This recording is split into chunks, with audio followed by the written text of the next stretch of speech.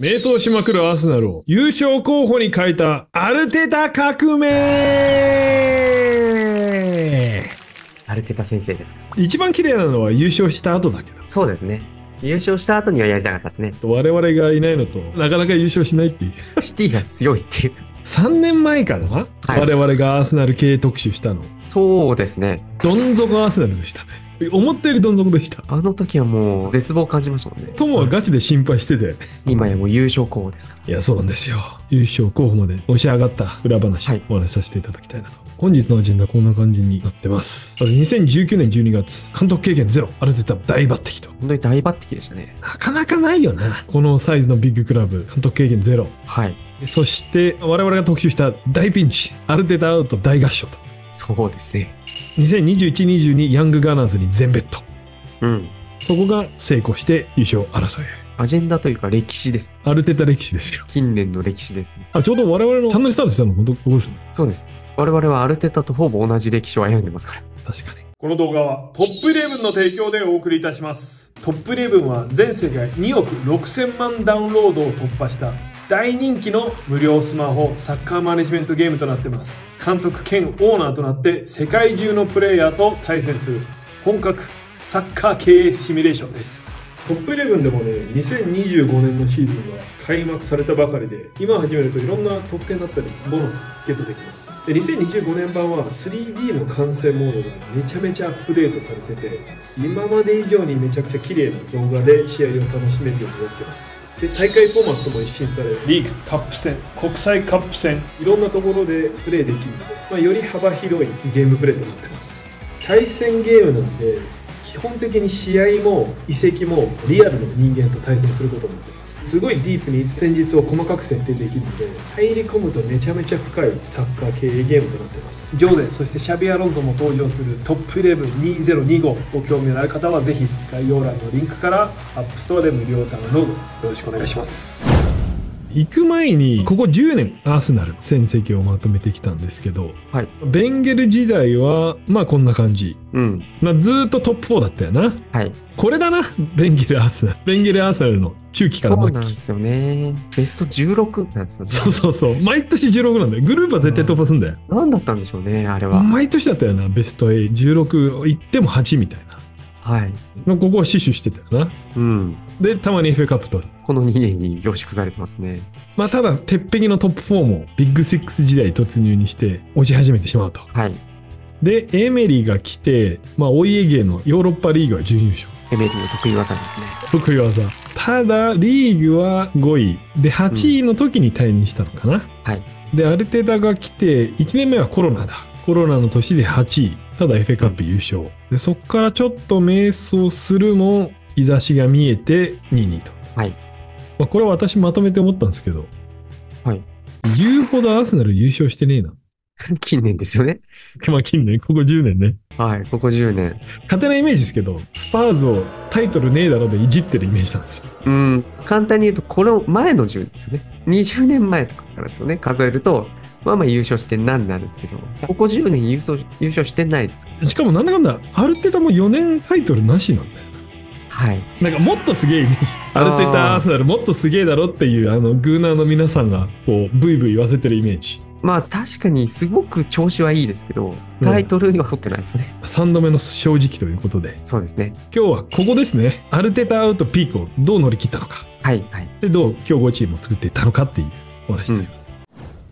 まず、ミケル・アルテタ、現役時代、エバートンに7年、で、アーセナルに5年。はい。まあプレミア、スペイン人としては一番多いかもしれないな。在籍年数は長いですよね。ダビド・シューバーぐらいかな、思いつく。うん。まあ、エバートン、俺はこっちのイメージの方が強いですね。はい。はい。エバートンの信頼できるセントラルミッドフィルダーって感じで。うん。まあ万能って感じですね。そうだね。34歳でアーセナルキャプテンとして引退すると。はい。この時ですね、アーセナルでアカデミーコーチするか、トッテナムでポチェのアシスタントをするか、シティでペップのアシスタントをするか、もオファー殺到してたと。う、なかなか引退後としてはすごい3択もらってますね。そうだね。アーセナルはまあベンゲルさんに認められてて、うん。ポチェとは PSG で一緒にやってんだよね。チームメイトとして。で、結局、シティにアシスタントコーチ就任すると。まあ、ペップでしょうね。あの3択なら。そうだな。やっぱ向上心があればあるほどペップでしょうね。だよね。ちょっと、ま、末期のベンゲルさんは、うん。末期20年目とかの末期のベンゲルさん、はい。あとアカデミーよりやっぱ右腕の方がいいですよね。そうだな。より現場より。この二人ですね、20年以上の付き合いだと。うん。ソシエダのアカデミーだったんだけど、カンテラでバルサ B でやってた時期もあって、はい。この時からもうペップはこいつは分かる話分かるやつだなと。なるほど。でペップがバイエルンの監督だった時にアルテタにチェルシー対策を聞いてたことらしいなるほど。本当に認めてたんですね。みたいなこともあってシティに行くと、うんでその3年後ヘッドコーチ就任、はい37歳かな大抜擢ですよはい。まあ元キャプテングアディオラの下で3年やって、まあ、友がいつも言ってるピンチの時はレジェンドに助けてもらう。そうですね。大事ですから。ただこの抜擢ですね。P が強かった。就任初日アルテタアウトがトレンド入り。初日ですからね。初日。初日来んな来んなこっち来んなって、お前お前どころじゃ直せる問題じゃねえんだよってあ実績ゼロなんでね、まあそうだよね実績ゼロなんかないよな、不安でしょうね。不安でしょうがないですよ。まあ、ペップですら B とかやったりしてたしはい。未経験でビッグクラブは思いつかないなうんまあまあファンに嫌われるわけですよ選ばれるというか不安でしょうね。そうまあそうですね うん、不安が露呈したんでしょうね。でやっぱエミリ良くなかったからねうん。一番の迷走期で、あそうはい。まあ、方針がなベンゲル末期で変わっちゃったよね。やっぱベンゲル末期で変わったというより、プレミア自体が変わったんですよね。確かになチェルシー爆買い伝説が始まり、で、シティが続き、はいはいはい。うちも買わなきゃってなったのがユナイテッドと合わせたんですよね。そうだな。そしたらもうチーム作りってなんだみたい確かに。アイデンティティなくしちゃったか。らな。はい。2019年そうだな。マンチェスターユナイテッドも絶賛迷走中ですよね、下からの変革によって、伝統の2チームが迷走を強いられた時期ですよね。間違いないわ初めなここもサンチェスとエジルぐらいは当たってたもんな、そうですね。はい。15年とか14年とかうん。あの時結構楽しかったよねむしろ多分買ってきたとしても、2人ぐらいまででかいの買ってきて、ねあとはちゃんと育ててるみたいな。それが多分この金になると30時にトップ3人、最近で買ってきましたみたいな感じじゃないですか。ラカオーバペペトランとみんな100億級ですっていうはい。あの30時がいた時ですよね。大迷走時代ですよでもうファンにブーブー言われててリュンベリおじさんにしたらもっとブーブー言われてはい。てで来たのが未経験、そうです。大博打でしょうね。大博打ですね大博打見えたんでしょうね、みんなの。アルテタとトレンド入りとうん。これに対してアルテタの初日コメント準備はできてますこのクラブのために最後の一滴まで血を絞り尽くす覚悟でここに来ましたとはい実際のそのコメントを言う写真なんですけど、はい今もですけど何回言ってもニコニコしてるんですよ いいじゃないですか。決して悪いことじゃないんだけど鼻につく人には鼻につくと思ううん。俺は鼻についてる私の鼻にはついてますなるほど。常に昔も今もなんかいつもね活字で見てるとい結構いいこと言ってんだよすげえいいこと言ってますけどね。そうそうそうそうコメント自体はパーフェクトなんだけどこれそうだここにあるから見てみようか Been speaking to, to one or two Arsenal fans, uh, and, and they all wish you well. But some of them are a little concerned that this is your first step into, into management. What do you say to them? that I completely understand their concerns. That's the only thing I can say. But I will try to convince them that uh, that I'm prepared. That I wouldn't be sitting here if I honestly don't feel that I'm prepared to take this responsibility, and that I will burn every drop of blood for this football club to make it better. 話してる時はあれなんですけど、黙った時に口角が上がるんでしょうね。いやでもここでも上がってるよ 心配分かったよ。ああそれはそうだよな。こそのイケメン爽やかスマイル？クラブがピンチの時に？うん。やっぱ賛否ですよね、はい。い、いよっていう人もいればおいおいおいって。好感を持てますけどね。あトムは賛成派ですね。俺はちょっとあんま好きではないですね。まあ、はい。私みたいな人がアウト言い始めると。はい。で、まあ、いよいよ始まるわけなんですけど初年度アルテタ就寝後のリーグ戦績20試合9勝6分け5敗と、はい10位で就任して8位で終えるとまあまあ、急には無理でしょうね。この状態は。まあまあこんなもんだろうなって感じですよねそりゃ監督初年度なんて、そうですね。当時結構ディフェンス部にやってたよねなんかもう引いて引いてオーバーでカウンターみたいそうですね。まあ最初の2年とかそれでしょうね。ずっとまあ割れてたわ。うな、うんまあしょうがないというか、うん、勝ち点取るにはその戦法を取ったわけですね。堅守速攻。はい。まあリーグは8位で終わり散々なシーズンだったんですけど FA カップ優勝。はい。これでかかった。これはでかかったですね。歴史的タイトルですねアーセナとって。はい。シティ2-0チェルシー2-1あのこういうフットボールしてたよね、はい。トーナメントに強いそうです。負けないフットボールでしたね。うんあとまあ格上に強いねうん。FA カップ優勝して面目保たれたこれなかったら解任とかも全然あったかもわかんないねはい。でこれにですねヘッドフットボールサンジェヒが退任してある程度一軍監督に昇格とヘッドコーチから監督にそうですねですね。もっと移籍とかにの権限が与えられたわけですね、でこの年ですねアルテタは初めての夏こういう補強をするとうん。パーティーガブリエルパブロ・マリでブルーが冬なんで夏はソアレスウィリアンウィリアンでやってましたね ウィリすね。アン、はい。フリーでウィリアンウーデゴールが来てこの年なんかこういい感じになったけどウーデゴールいなかったらなかなか迷走ですねこれはそうですね。でも逆にアウトの方じゃないですか。ああアウトエミマル、うん。この後レジェンドになるエミマルそうですね。これでかいなでいたのがレノですからレレノ。はい。まあでも当時のレノとエミマル比べたら確かエミマルがあそこまで行くとは誰も思ってなかったですね。そうだよね、はい。10年ぐらいいたんだよね確かアーセナル。はい。よくレでそうでもレノ良よくあったんだよね。性格で我慢できましたね。そうだよね。まあでもこっからのフィエミマルフィーバーもすごいけどね。はい。今めっちゃフィーバーしてるんです。うん。で、グエンデジでしょ？グエンドゥジうん。うん。コラシナコラツシナツ。あエイジルパパスタスロス。うん。ここらム辺ヒタリヒラここら辺がちゃんと整理できたんじゃないですかね。まあまあ冬大整理だよなうん。エミマルだけ残念だったけどなまあまあ他はもうそれ以外は順調な気がしますけどね。そうだね。で、シーズン始まるわけなんですけど、開幕14試合、4勝2分け8敗、はい。14位。ここで我々特集したんです。これやべえぞって。やべえぞってなこりました、ね。の根は深いぞってね。はい。14位だったか。はい。はあ。ひどかったイメージあったけど、14位のイメージはなかった。支配ですもん。やばいな。チェルシー10位、12位、ひでいと思ったけど、はいそれ以上ですからね。うん。で、もちろん、アルテタアウトさらに加熱ですよ。1年前から言ってただろって俺は分かってたよお前らが言ってんだよってクロンケアウトアルテタアウトはい。アルテタアウト T シャツ出して、あ俺は分かってたよと。あ。まあ、14位ですもん。14位はなうん。で、まだまだ戦力はまた大場とかいるわけですからね。14位の戦力では決してないからな。はい。未経験の監督連れてきて14位だったらこうなりますわな。はい。トニーコーチ、アンドリアス・ジョージさん。ミケルは就任時から明確な方向性が見えていた。ただ、選手とスタッフがそれに順応する時間がかかったと思う。うん。だから、どん底の時でもミケルは強かった。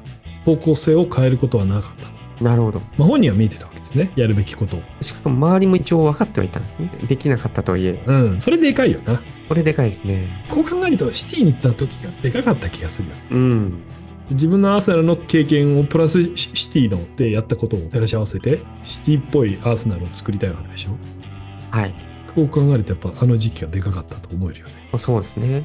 で、ここでね、すごくラッキーだったのが、とある役員がアルテタに絶対的信頼を置いていたと。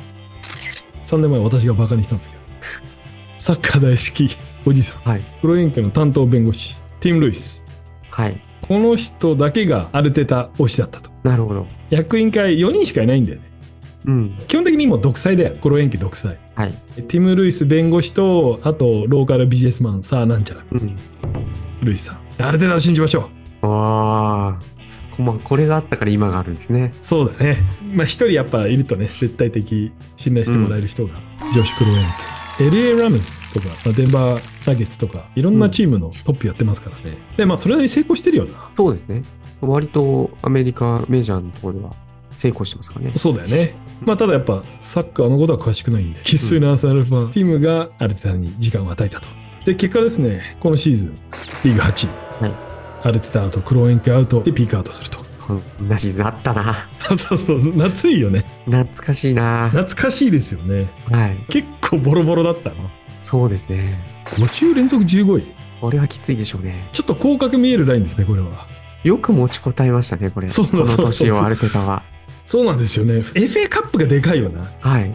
FA カップなかったら絶対ここないよ、ないですね。うんノータイトル未経験でそこやばいですね。そうだよな15位、まあ、言っても取ってるから FA カップ国内で2番目にでかいタイトルあれだけでしょうねもうもはや、そうですね。FA カップ取ったことによって今年は我慢しよまあ、一応でも次の人をリストアップしとくけどみたいなう。うん。まあ、感じスレッスレですよね。スレッスレある程度アウトで2021を終えると。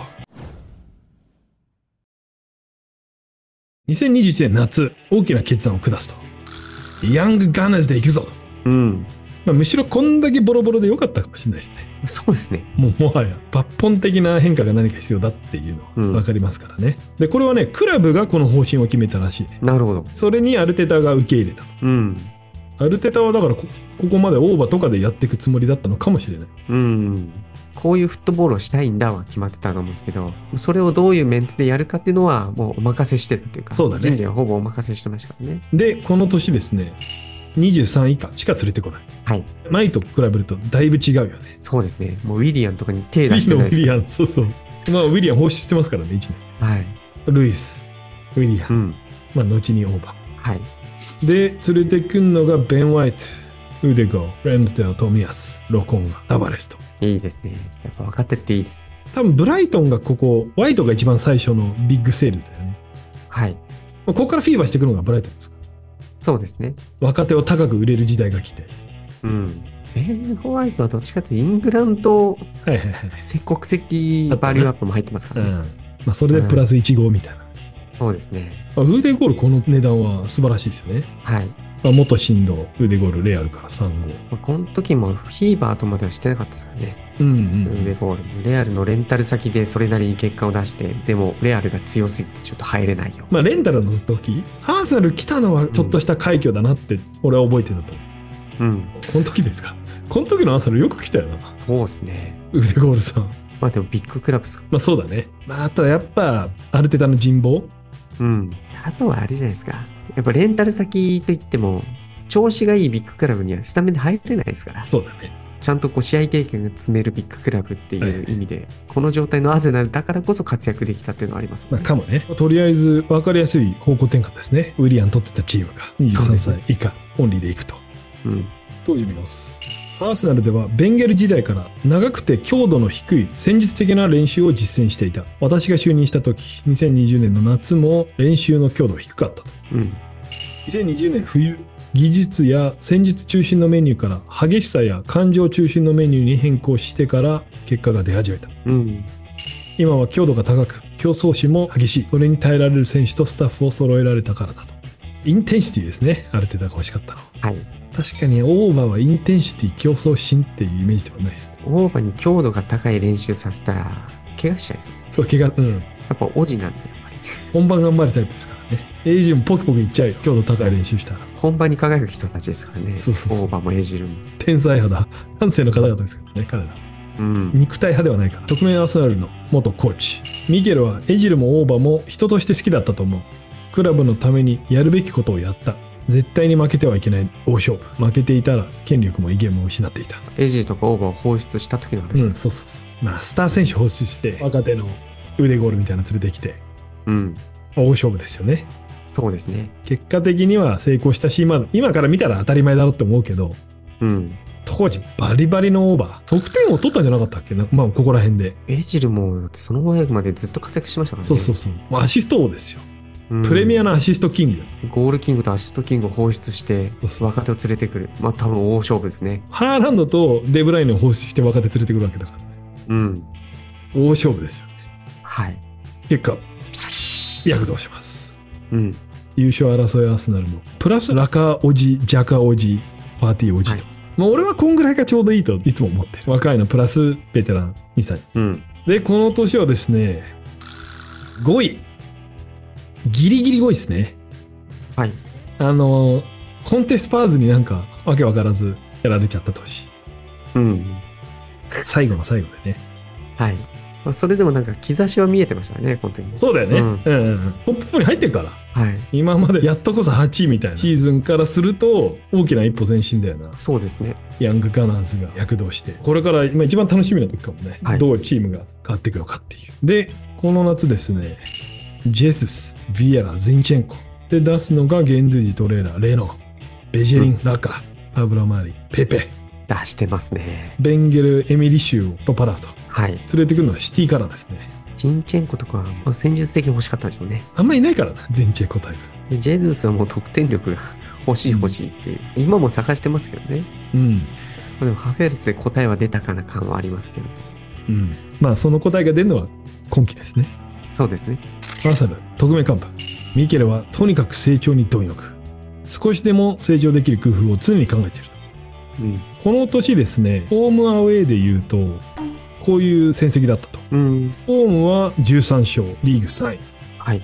アウェーは9勝9敗、リーグ6位と。うん。明らかにアウェーフォームですね。うん。トップ4に入るにはこのアウェーフォームを強化しないといけないと。はい。アウェー対策に知恵を絞るわけですね。アルテタのアウェー対策その1。練習中に爆音のゆる寝坊起ころああ、いいですね。結局これは不発で2日後ぐらい大敗するんですけど、はい。やること何でもやろうっていう。はい。慣れとかありそうですね。まあ、そういう仮説ですね。うん。アルテタのアウェー対策その2。不意をついて当日移動。はい。はい。このレベルになると大体前日移動じゃないですか。そうですね。現地に着いてホテルで一泊して試合。うんうん。なんか不意に今週は当日移動ねみたいな。何か意図があるんでしょうね。マンネリ化を防止したかったらしい。うーん。シェフィールド戦って言ったかな？今週は当日移動するぞ。うん。このシェフィールド戦は6-0で対勝した。おー、なるほど。家族ともっと時間を過ごせる。ホテルでダラッとするよりはいいのかもしれないですね。うんむずいですね、なかなか。まあわかんないね。そう、そこが悪いのかもしれない。まあとりあえず、とりあえずこれを払拭したかったわけだから。ある程度アウェイ対策。その3、黒いアウェイユニフォームで威圧感アップ。ああ、これはなんかわかる気がしますね。ああ、今年も黒ですね。赤とか黒とか威圧的ですよね、やっぱり。はいはい。攻撃的な色ですから。まあ少なくとも黄色よりはね、おーってなるよな。なるほど。これはいいですね。うん、うん、ここれはなんとなくわかる。うん。で、最後にですね、アウェイロッカールームをホーム化と。はい。ホームのロッカールームこんな感じですよね。うん。We are Arsenal 超かっこいい。アウェイはこんな感じらしいです。うん。まあ、アウェイの洗礼じゃないけど、最低限の施設です。まあでもアウェーですからね。これがアウェーですか勝手に同族感がありますよね。ら。うん。ここをホーム化したかったってある程度考えて、これがフラムに行った時の写真で、チームの写真を貼ると。なるほど。エンブレムを貼るとか。はいで、これがホームのロッカールームに書いてあるアイデンティティ。うん。それをいろいろ貼ると。なるほど。雰囲気。とにかく何でもやろうっていう。うん。うん。まあ、私はそういうの好きですけど。はい。アイデンティティが、アルテタとチームがキーワードにしている、アイデンティティ、ユニティ、ベーシックス。はいまあ全部頭文字でいろいろなんか意味があるんだ。これがアーセナルだ、みたいなキーワードがあって、それを貼り付けまくる。うん。で、最後にですね、この時計なんですよね。はい。この時計ですね。はい。エミレーツ、レプリカを作って持参したらしいです。おー。ホームでなるほど。素晴らしいですね。やっぱ雰囲気って大事ですね。まあ、アルテタはそういうのを大事にする。やれることは何でもやってみよう感だよね。うん。この時計は結構アーセナルでは名物の、えっと、もともとハイブリーの時にあったんだよね。はい。で、エミレッツにはなかったんだけど、ハイブリーから、ハイブリーは全く同じもの持ってきたのかなうん。全く同じもの持ってつけた。うん。まあ、そのクラブにとって大事な時計を持ち歩いてると。うん。で、この時は、あと2ヶ月で優勝が迫って1位だったかなうん。あと、優勝へのカウントダウンっていう意味もあったらしい。うん。本当にいろいろやりますね。イノベーターですね、アルテタさん。で、こういうこともあり、この年のアウェー、19戦12勝3分け4敗、リーグ1位と。はい。確かに、アウェー強かったですもんね。そうだね。う。うんん。最近はアウェー強いイメージだよな。うん。ディフェンスが強くなったイメージ、アウェーで。うん。前なんかアウェーだったらポコポコ、なんだったらアンフィールド来て結構失点してくれるイメージだったけど、うん。粘り強くなったイメージだよね、ここ2年。まあこういうこともあり、首位、シティまで迫ると、はい。5点差。結果シティが強かったですけどね。まあそうなんですよ。まあ84点はまだだな。はい。確かレスターが85で勝ってるから、まあ、ギリギリ優勝できないラインまででも来てるわけですね。そうですね。まあ、でもね、シティがいたら90点ですからね、ハンドルは。そうなんですよ。近年90点なんですよね。我々97点で取れませんでしたか？ら。あれまで81とか2とか3、そうそう4で取れてたのに、97で取れないって、ある意味詐欺だよな、もうもはや。27で取れないともう化け物なわけわんでしょう？かんない。わけわかんないね。モーリーニョが初めて90点取った時覚えてる。はい。こんなチームいるのって。すげえなと思いました。今やそこが優勝ラインですからね。やばいよな。特命幹部。アルテタは下へのマネジメントもうまいが、上へのマネジメントもうまい。欲しい選手がいたら何が何でも獲得する執念を持っている。常にチームファーストだが何が必要で何が不要なのか明確に理解していて全力でそれを取り素晴らしいですね。上も下もうまいって、なかなか中間としてはパーフェクトですよね。大体どっちかじゃないですか。そうだね我々凡人レベルはね世界クラスは上も下もうまいですね。そうだね上もグリップしてし下への信頼も強いとさすがですね。で欲しい選手取ってきますよねうん。今年のカラフィオーリもアルテタ熱望うん。アルテタの明確な補強ポイントにエドゥがスカウトとアナリストをうまくまとめてリストを作り上げるアルテタの明確な注文がうまく機能しているとうん。機能しない時もありますからねこれ監督がこだわりすぎてねそんな選手いねえよ。そうそうそそんな選手いないから絶対取れないよって。う、うん、うちの予算分かってんのみたいな話にななりかねないからねそれそれも普通の企業でもねそうですね。あと、オーダーの優先順位とかがないとね、10人欲しいです。ええみたいな。アルテタの希望でベンゲルもエメレーツに帰ってきたクラブの歴史を受け入れ力に変えているうん。これ大事ですよ。これ大事ですねはい。寂しかったもんベンゲル先生帰ってこないってこれは大事ですね。レジェンドですから。昨年シーズンはよりホームエミレーツを要塞化するためにいろいろ努力をするとアルテタの要塞化施策その1エミレーツで練習うん。ここは俺らのホームなんだよっていう考えを植え付けたかったらしいですねはい。そして施策その2火うんここはよくわかんないですけ これもアルテタのオーダーだって、まあ、もっと盛り上げろっていうど。はい。はい。火とかいいんじゃない？盛り上げ超大事ですけどね。まあ、盛り上げ大事だよね火が合ってるのかちょっと分かんないけどはい。エミレーツもでけえからなはい。まあ我々見たら分かりますよ火火がああるとないで違うのか違くないのかなこれはちょっと楽しみですね。そうそう、火でわーってなってたら、もうある程度の施策はもう、ハマってますよ。これ実証実証しに行きましょう。そうですね。わ我々が結論を下しますわ。そうですね。いや、本当に何でもやるんだな。うんで、滑るあのスピーカーみたいなアイディアもあれば、うん。まあ、もちろん、ハマるアイディアもあると。うん。で、この結果、初めてホームでシティを下すと。はい。ペップシティ。ホームで下し、去年は本当あと一歩でしたね。そうですね。勝ち点2、とうにあと一歩でしたね。得失点も追いついて、ディフェンスはリーグ1位。ああと一歩ですね、89点。まあ、堂々優勝ペースですよね、もう89点は。ーもう90点ですからね。うん。近年90点がボーダーラインですかまあ、誰がどう見ても、まあ、優勝レベルのチームですね。ら。はい。仕上げてると。うん。そしていよいよ、アルテタ5年目。これがアルテタ初年度のエメリチームはい。と比べるとあと3人しか残っていないと。うわみんないなくなったな、確かに。マルティネッリ、ネイルソン、サカ。はい。スミスローもいなくなっちゃっそうなんです、スミスローもな。この時の育成枠だったゲンドゥージとかも若手枠だったよな。た。はい。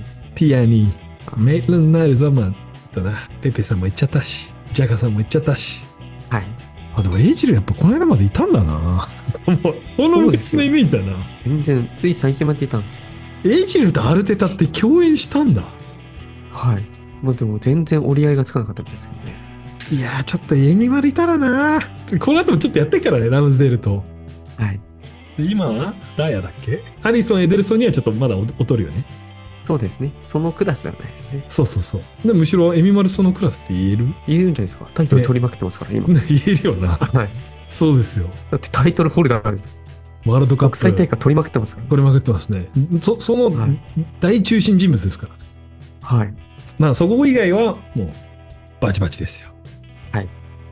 元コーチ、ミケル自身ももちろん成長している。もともと戦術的な面は強かったが、人情的、モチベーターとしての面は格段レベルアップしたと思う。うん。コーチ陣と熱い議論になるが、謙虚なので後を引くことはない。誰よりも勝つために貪欲なだけだと思っていると。素晴らしいですね。この5年で一番成長したのはアルテタかもしれないですね。ああ、あるね。まあ、そう、あるな。いむしろそうだよ。だって未経験からだもんね。はい。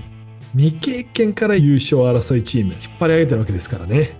そうですね。爆発的に一番成長してるかもしれないですね。どん底を得て、そうだな。間違いないね、うんそれは。残るわ。